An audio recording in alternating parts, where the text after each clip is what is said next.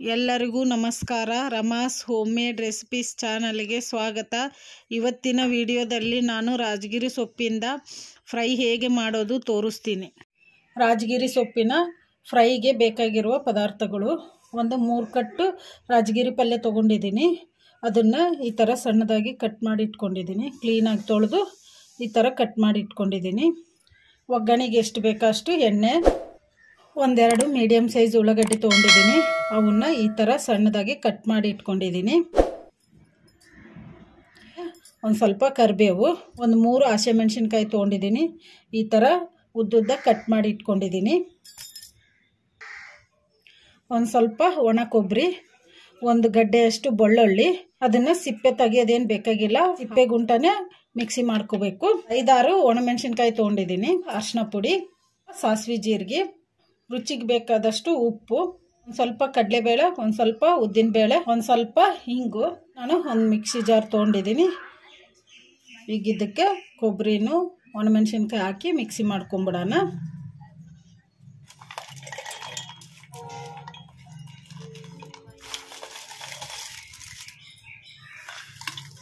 ಇವನ್ನ ಮಿಕ್ಸಿ ಮಾಡ್ಕೊಂಬಿಡೋಣ. ಈಗ ಮಿಕ್ಸಿ ಮಾಡ್ಕೊಂಡಿದ್ದೀನಲ್ಲ, ನೋಡೋಣ. ಈ ಥರ ಮಿಕ್ಸಿ ಮಾಡ್ಕೋಬೇಕು. ಜಾಸ್ತಿ ನುಣ್ಣಗೂ ಬೇಡ, ಜಾಸ್ತಿ ತರಿ ತರಿನೂ ಬೇಡ. ಈ ಥರ ಇದ್ರೆ ಸಾಕು. ಈಗ ಇದನ್ನು ಒಂದು ಸೈಡಿಗೆ ಇಟ್ಕೊಂಬಿಡೋಣ ರಾಜಗಿರಿ ಪಲ್ಯನ ಆವ್ರಿ ಮೇಲೇ ಕುದಿಸ್ಕೊಂಬಿಡೋಣ ರಾಜಗಿರಿ ಪಲ್ಯನ ಆವ್ರಿ ಮೇಲೆ ಕುದಿಸೋಕ್ಕೆ ಥರ ಹೋಲ್ಸಿರೋ ಒಂದು ಪಾತ್ರೆ ತೊಗೊಂಡಿದ್ದೀನಿ ನಾನು. ಈಗ ಇದಕ್ಕೆ ರಾಜಗಿರಿ ಪಲ್ಯ ಹಾಕ್ಬಿಡೋಣ.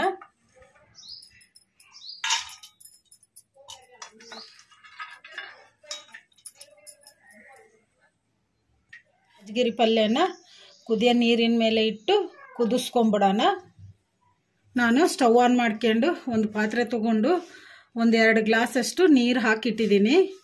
ಅದು ನೀರು ಕೂಡ ಕುದಿಯಕತ್ತಿದ್ದಾವೆ ಈಗ ಕುದಿಯೋ ನೀರಿನ ಮೇಲೆ ರಾಜಗಿರಿ ಪಲ್ಯನ ಈ ಪಾತ್ರೆ ಮೇಲೆ ಇಟ್ಟು ಕುದಿಸ್ಕೊಂಬಿಡೋಣ. ಹತ್ತು ನಿಮಿಷ ಮೀಡಿಯಮ್ ಫ್ಲೇಮಲ್ಲಿ ಕುದಿಸ್ಕೊಂಬಿಡೋಣ. ಈಗ ಇದಕ್ಕೆ ತಟ್ಟೆ ಮುಚ್ಚಿಬಿಡೋಣ. ಇದನ್ನ ಆವ್ರಿ ಮೇಲೇನೆ ಕುದಿಸ್ಕೊಂಡ್ಬಿಡೋಣ ಈಗ ಹತ್ತು ನಿಮಿಷ ಆಗಿದೆ. ತಟ್ಟೆ ತೆಗೆದು ನೋಡೋಣ.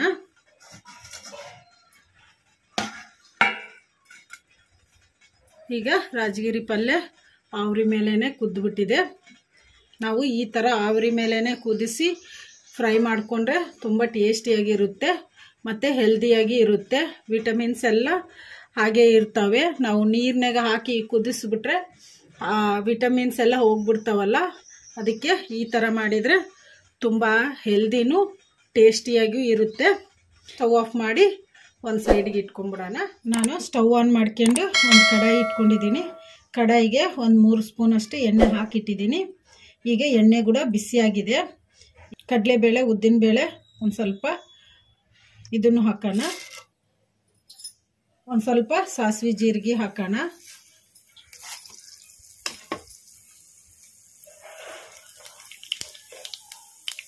ಈಗ ಸಾಸಿವೆ ಜೀರಿಗೆ ಫ್ರೈ ಆಗಿದಾವಲ್ಲ? ಈಗ ಇದಕ್ಕೆ ಒಂದು ಸ್ವಲ್ಪ ಒಂದು ಐದು ಬೆಳ್ಳುಳ್ಳಿ ತೊಗೊಂಡಿದ್ದೀನಿ. ಅವನ್ನ ಸಿಪ್ಪೆಗುಂಟನೆ ಜಜ್ಜಿ ಇಟ್ಕೊಂಡಿದ್ದೀನಿ. ಈಗ ಇವನ್ನ ಹಾಕೋಣ. ಇದು ಒಣಮೆಣಸಿನ್ಕಾಯಿನ ಈ ಥರ ಮುರಿದು ಇಟ್ಕೊಂಡಿದ್ದೀನಿ. ಇದನ್ನು ಹಾಕೋಣ. ಹಾಗೆಯೇ ಒಂದು ಸ್ವಲ್ಪ ಕರಿಬೇವು. ಸ್ವಲ್ಪ ಹಿಂಗೆ ಹಾಕೋಣ. ಬೇಕಂದರೆ ಹಾಕ್ಕೋಬೋದು, ಇಲ್ಲಾಂದರೆ ಸ್ಕಿಪ್ ಮಾಡ್ಬೋದು. ನಾವು ಕಟ್ ಮಾಡಿ ಇಟ್ಕೊಂಡಿದ್ವಲ್ಲ, ಉಳ್ಳಾಗಡ್ಡೆ, ಹಸಿಮೆಣಸಿನ್ಕಾಯಿ ಹೀಗೆ ಇದನ್ನು ಹಾಕೋಣ. ಕಲಸ್ಕೊಂಬಿಡೋಣ. ಇವನ್ನೆಲ್ಲ ಮೀಡಿಯಮ್ ಫ್ಲೇಮಲ್ಲೇ ಫ್ರೈ ಮಾಡ್ಕೋಬೇಕು. ಇವನ್ನ ಈ ಥರ ಕಲಿಸ್ಕೊತಾನೆ ಫ್ರೈ ಮಾಡ್ಕೋಬೇಕು. ಗೋಲ್ಡನ್ ಬ್ರೌನ್ ಕಲರ್ ಬರೋವರೆಗೂ ಫ್ರೈ ಮಾಡ್ಕೋಬೇಕು. ಒಂದು ಸ್ವಲ್ಪ ಉಪ್ಪು ಹಾಕೋಣ. ಬೇಗ ಫ್ರೈ ಆಗ್ತವೆ. ಈ ಥರ ಕಲಿಸ್ಕೊಂತಾನೆ ಫ್ರೈ ಮಾಡ್ಕೋಬೇಕು. ಉಳ್ಳಾಗಡ್ಡಿ ಗೋಲ್ಡನ್ ಬ್ರೌನ್ ಕಲರ್ ಬಂದಿದಾವಲ್ಲ, ಈಗ ಇದಕ್ಕೆ ಒಂದು ಅರ್ಧ ಸ್ಪೂನಷ್ಟು ಅರಿಶಿನ ಪುಡಿ ಹಾಕೋಣ.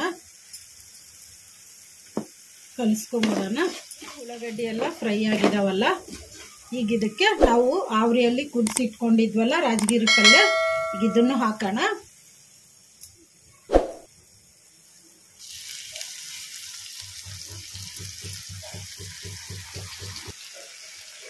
ಈಗ ಕಲಿಸ್ಕೊಂಬಿಡೋಣ. ಇದನ್ನು ಒಂದು ಐದು ನಿಮಿಷ ಈ ಎಣ್ಣೆಗೆ ಫ್ರೈ ಮಾಡ್ಕೊಂಬಿಡೋಣ.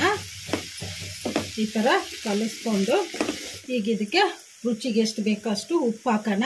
ನಾನು ಆಲ್ರೆಡಿ ಉಳ್ಳಾಗಡ್ಡಿಯಲ್ಲಿ ಒಂದು ಸ್ವಲ್ಪ, ಒಂದು ಸಣ್ಣ ಸ್ಪೂನಷ್ಟು ಉಪ್ಪು ಹಾಕಿದ್ದೆ. ಈಗ ರುಚಿಗೆ ಎಷ್ಟು ಬೇಕೋ ಅಷ್ಟು ಹಾಕೋಣ.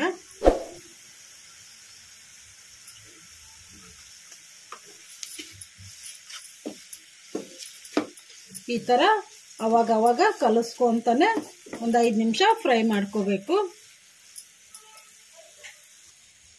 ಇದನ್ನು ಮೀಡಿಯಮ್ ಫ್ಲೇಮಲ್ಲೇ ಫ್ರೈ ಮಾಡ್ಕೋಬೇಕು. ಈಗ ಐದು ನಿಮಿಷ ಆಗಿದೆ. ರಾಜಗಿರಿ ಪಲ್ಯ ಕೂಡ ಫ್ರೈ ಆಗಿದೆ.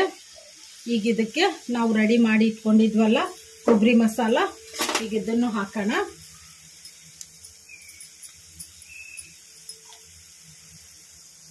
ನಿಮಗೆ ಎಷ್ಟು ಬೇಕೋ ಅಷ್ಟು ಹಾಕ್ಕೋಬೋದು. ಒಂದು ಸ್ವಲ್ಪ ಜಾಸ್ತಿ ಹಾಕಿದರೂ ಏನಾಗಲ್ಲ, ತುಂಬ ಟೇಸ್ಟಿಯಾಗಿರುತ್ತೆ. ಕಲಿಸ್ಕೊಂಬಿಡೋಣ. ನಾನು ಒಣಮೆಣಸಿನ್ಕಾಯಿ ಕೂಡ ಫ್ರೈ ಮಾಡಿಲ್ಲ. ಹಾಗೇ ಹಾಕಿ ಮಿಕ್ಸಿ ಮಾಡ್ಕೊಂಡಿದ್ದೀನಿ. ಹಾಗೆ ಹಾಕಿದ್ರೇ ಟೇಸ್ಟಿಯಾಗಿರುತ್ತೆ. ಕೊಬ್ಬರಿ ಮಸಾಲ ಹಾಕ್ಕೊಂಡ್ಮೇಲೆ ಜಾಸ್ತಿ ಹೊತ್ತೇನು ಫ್ರೈ ಮಾಡೋದು ಬೇಡ. ಒಂದೆರಡು ನಿಮಿಷ ಅಷ್ಟೇ ಫ್ರೈ ಮಾಡ್ಕೋಬೇಕು. ಈಗ ಈ ರಾಜಗಿರಿ ಸೊಪ್ಪನ್ನು ಚಪಾತಿ ಜೊತೆಗಾಗಲಿ ರೊಟ್ಟಿ ಜೊತೆಗಾಗಲಿ ಅನ್ನದ ಜೊತೆಗಾಗಲಿ ತಿಂದರೆ ತುಂಬ ಟೇಸ್ಟಿಯಾಗಿರುತ್ತೆ ಹೆಲ್ದಿಯಾಗಿ ಇರುತ್ತೆ. ಮಕ್ಕಳಿಗಂತೂ ತುಂಬ ಹೆಲ್ದಿ. ನೀವು ಟ್ರೈ ಮಾಡಿ ಮನೆಯಲ್ಲಿ ಎಲ್ಲರೂ ಇಷ್ಟಪಡ್ತಾರೆ. ಆಗಿದೆ. ಈಗ ಸ್ಟವ್ ಆಫ್ ಮಾಡಿಬಿಡೋಣ.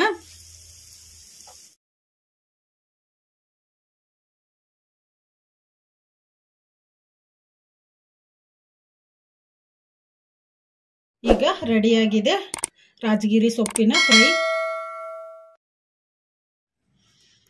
ಈ ವಿಡಿಯೋ ನಿಮಗೆ ಇಷ್ಟ ಆದರೆ ನನ್ನ ಚಾನಲನ್ನು ಸಬ್ಸ್ಕ್ರೈಬ್ ಮಾಡಿ, ಲೈಕ್ ಮಾಡಿ, ಶೇರ್ ಮಾಡಿ, ಕಮೆಂಟ್ ಮಾಡಿ. ಸಬ್ಸ್ಕ್ರೈಬ್ ಬಟನ್ ಪಕ್ಕ ಬೆಲ್ ಬಟನ್ ಇರುತ್ತೆ, ಅದನ್ನು ಪ್ರೆಸ್ ಮಾಡಿ. ನಾನು ಯಾವುದೇ ಒಂದು ಹೊಸ ವಿಡಿಯೋ ಮಾಡಿದರೂ ನಿಮಗೆ ನೋಟಿಫಿಕೇಷನ್ ಬರುತ್ತೆ. Thank you for watching.